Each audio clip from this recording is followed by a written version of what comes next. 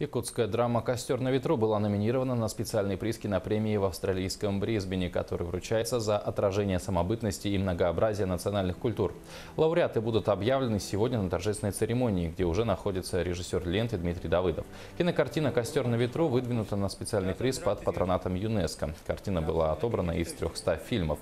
Вместе с тем у картины уже достаточно насыщенная фестивальная история. Она была отмечена на Пасуанском международном кинофестивале, а на фестивале кино и медиаискусства Imagine Native кинокартина получила приз в номинации «Лучший драматический фильм», обойдя шесть работ.